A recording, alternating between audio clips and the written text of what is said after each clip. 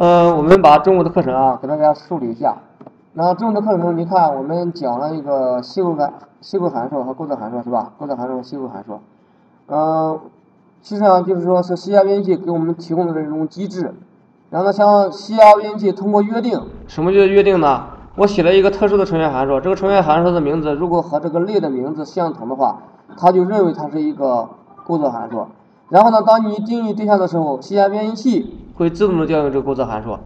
然后呢，构造函数又分为调用规则是有自动调用和手动调手工调用，对不对？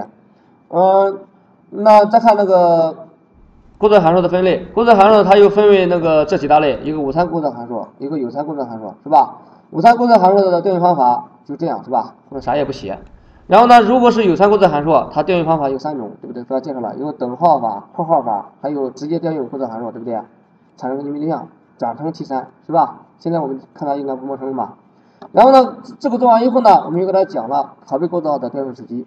拷贝拷贝构造函数的调用时机啊，有有四种情况，都给大家讲了。第一种、第二种是比较简单，就是实实际上是一样的，一个是第一种是等号，一个是括号，对不对？第二种是括号啊。那第三种第三种调用场景是第三种调用场景是用实参，用实参初始化形参的时候，用实参 a，你看 a 是一个变量，那调用这个函数的时候，这实参这个 a 会初始化这个形参 p，这里边都有条件啊，这个是形参是不是元素对不对？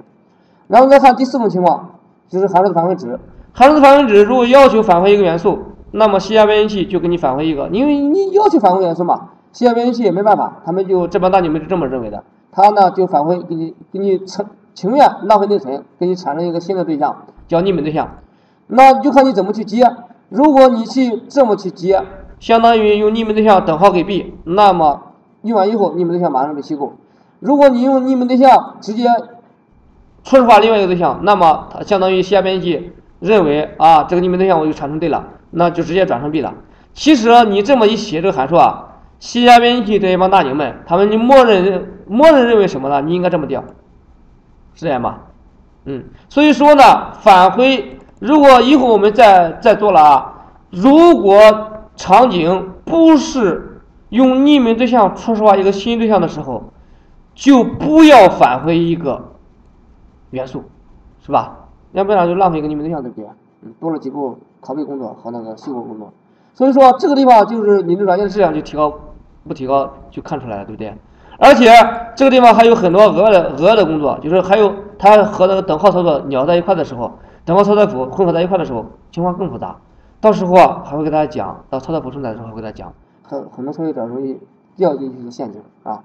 OK 呢，今天那个另外呢，还要给大家讲了为什么要用为什么要用构造和细构函数，是吧？用显示的初始化方案确确实实不能满足各种各种样的编程编程需要，因为你定定一个初始化数组，是吧？它就这种情况下，你对每个对象说实话就比较麻烦了，对不对？你你不能你怎么能是这么按按着牌子写吧？写了一千九百九十九个，对不对？就是说你麻烦，对不对？所以说那个西安编译编辑器这这一帮大姐们给我们提供的这个初始化方案，确实是是高端大气上档次的一个初始化方案，是吧？嗯。那我们看看我们的学习路线图啊，很清晰。我们现在是处于这个阶段，对不对？嗯。OK。